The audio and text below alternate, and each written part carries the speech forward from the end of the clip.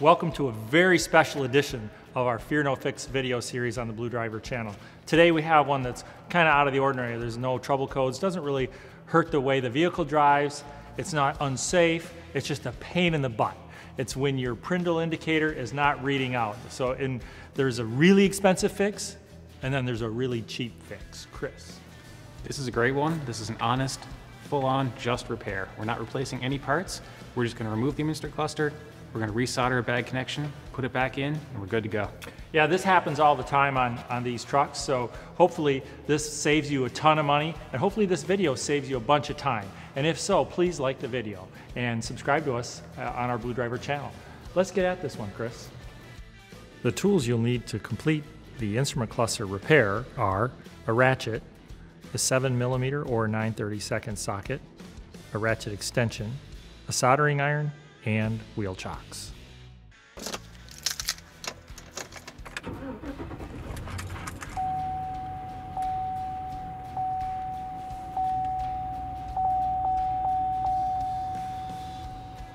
We'll start by setting the steering wheel as low as it can go.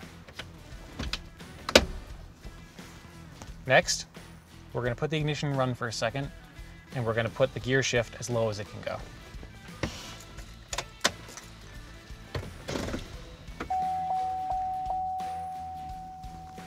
Now, we're gonna pry out on this panel right here from the top. Looks like someone already tried this repair a couple years ago. I swear this wasn't me. Just start around the edges, pull gently, it'll pop out.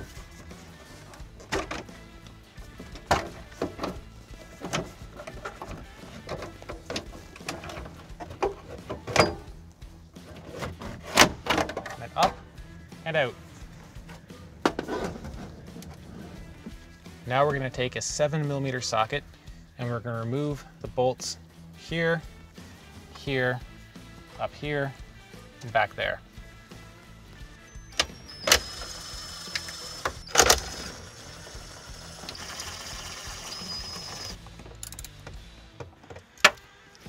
We'll have to put the gear shift back as low as it'll go.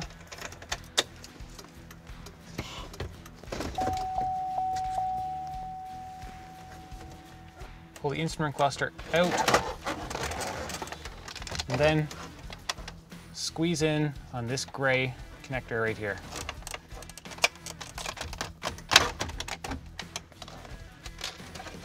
And that's it. All right, we're set up on the workbench. First thing we're gonna do is take the instrument cluster apart, and then we're gonna have a look at that board. First, we're gonna apply up on these clips here and here and the clips on the other side.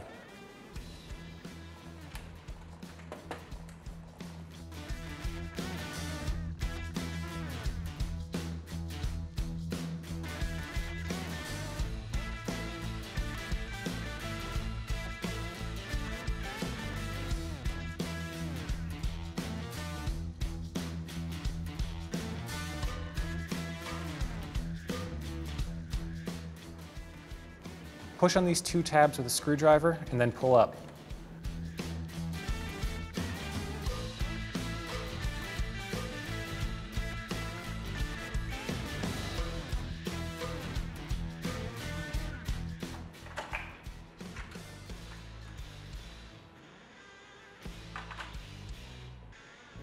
Now we're going to remove the gauge needles. Pry up on the needle on both sides at the same time and pull them off the stepper motors.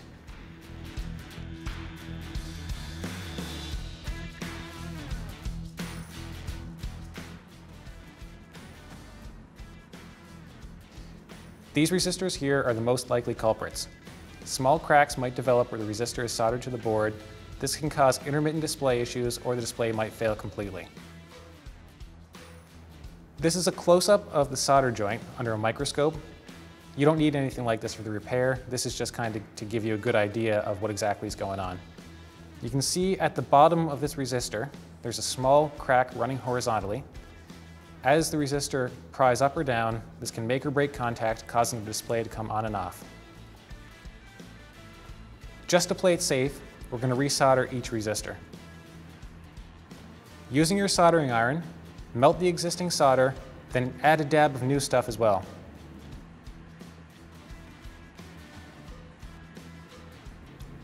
We'll do this again now for each resistor.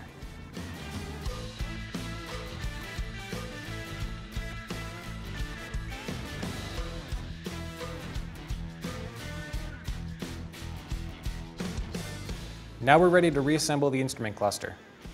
Snap on the front half. Reinstall the gauge needles on the stepper motors. Make sure the needles can't rotate counterclockwise beyond the zero position for each gauge. If the needles are put on incorrectly, then when you start the truck, you might see something like 5,000 RPM, negative 1,000 RPM, zero volts, etc. So they have to be put on in the same position they came off. Snap on the back half of the instrument panel.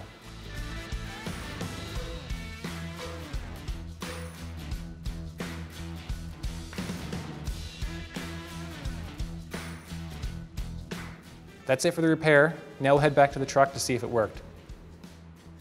Now that we've resoldered all those resistors, we're going to put it back in. First, we'll hook up this connector. The gray points back towards the front of the truck.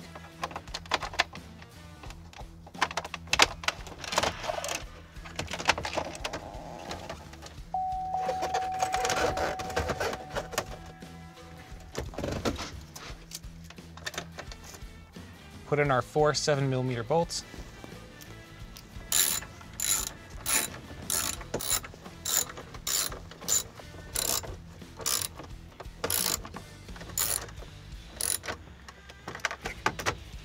Put the gear shift in the lowest position again. Then reinstall the dash piece.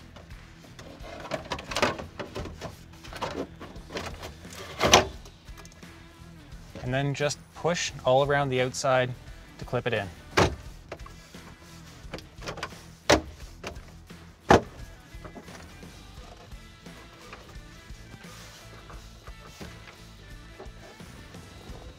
Now that everything's reinstalled, we're going to give it a try and see if we can figure out what gear we're in.